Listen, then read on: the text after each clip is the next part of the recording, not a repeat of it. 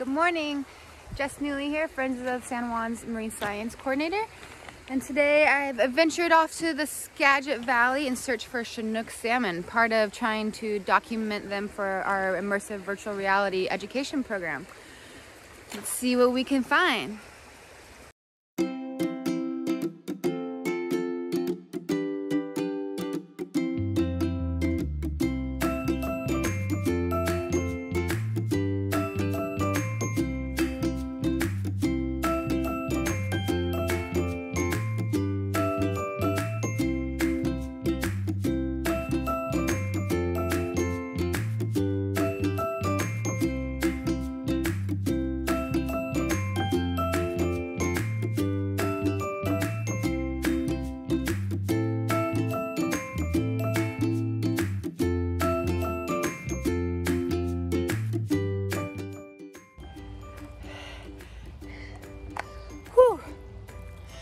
it's been a good day.